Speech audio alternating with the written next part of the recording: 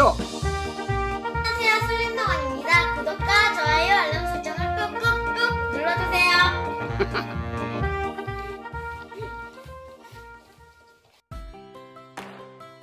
안녕하세요 슬림농원입니다.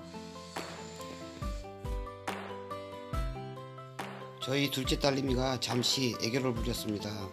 재밌게 보셨으면 구독과 구독 알림 좋아요를 꼭 눌러주세요 황금 같은 주말에 놀러 가지도 못하고 일하러 왔습니다 오늘은 어머 어, 에이 그냥 편하게 엄마 엄마네 집에 있는 60m짜리 비닐하우스 비닐 교체 작업을 하러 저와 마나님 동생이 왔고요.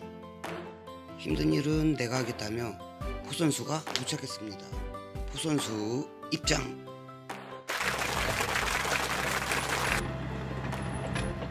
저의 일손을 마나님 다음으로 도와주는 간신히 굴러가는 크레인입니다. 비닐을 씌운 지 8년이 지났고요. 9년째 하우스 비닐을 교체하는 겁니다. 참 오래됐었네요. 비닐을 교체하기 위해서 일단 비닐을 벗겼습니다. 비닐 씌운 지가 오래돼서 그런지 패드 스프링이 녹이 나서 부러져 비닐을 걷어내는데 시간이 많이 걸렸네요.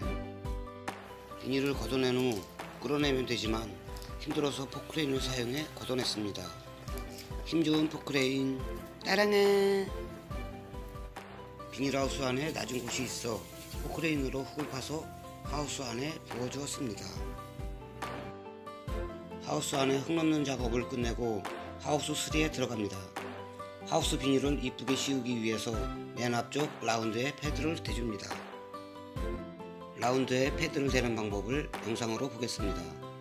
살짝살짝 흔들어 조금씩 휘게 한 다음 비스를 촘촘히 박으면 패드가 찌그러지지 않고 이쁘게 휘어집니다.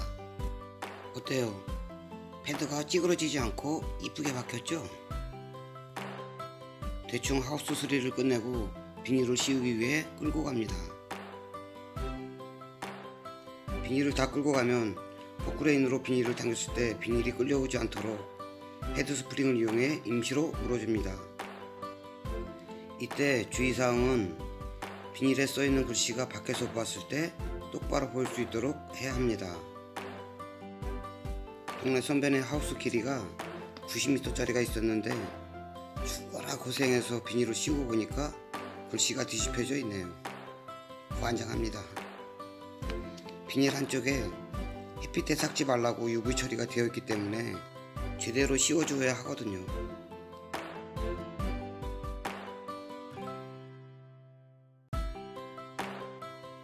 맨 앞쪽으로 와서 비닐을 포크린 붐대에 묶고 비닐을 살짝 당겨 비닐이 땅에서 조금 뜨면 붐대를 하우스 중간쯤으로 옮기고 비닐을 끌고 간 반대쪽으로 넘어가 비닐을 잡아당기면서 포크린 쪽으로 오시면 비닐을 쉽게 덮을 수 있습니다.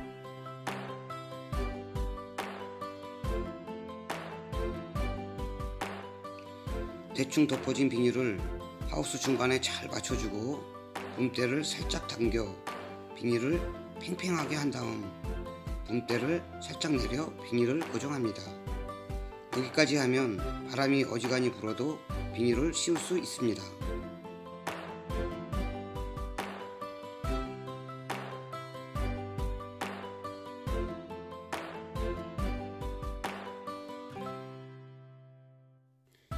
포크레인으로 고정을 한 후 비닐이 바람에 날아가지 않도록 스프링을 양쪽 모두 15에서 20m 간격으로 임시로 물어줍니다.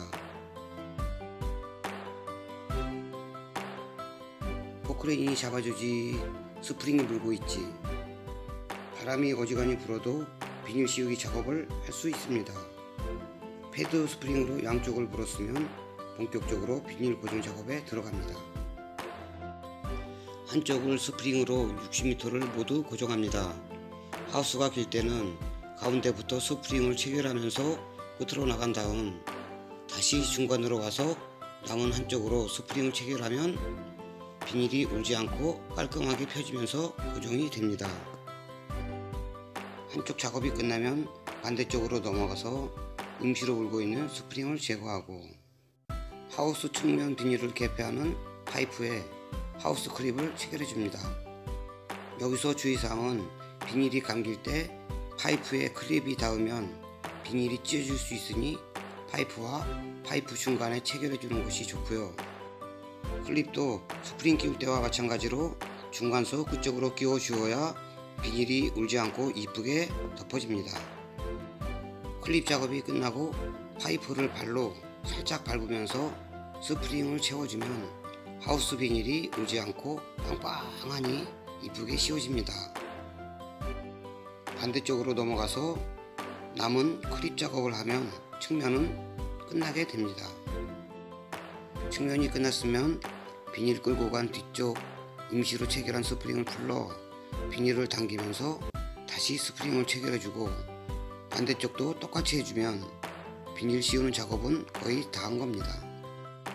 비닐하우스 앞에서 보시면 비닐이 울지 않고 이쁘게 씌워진 것을 한 번쯤은 보셨을 겁니다. 누가 그러더라고요. 어떻게 해야 비닐루가 울지 않고 그렇게 빵빵해질 수 있는지 방법 좀 알려달라고 하더라고요. 방법은 아주 간단합니다. 1번 아래쪽을 패드로 물어준 다음 2번 위쪽에서 당기면서 스프링을 끼우면 비닐이 울지 않고 푹 소리가 날 정도로 빵빵하게 잘 씌워집니다. 이 설명 저 설명 다 빼먹고 대충 비닐 교체 작업이 끝났네요. 마지막으로 개폐기 높낮이를 조정하고 문이 잘 열리는지 다시 한번 확인을 합니다.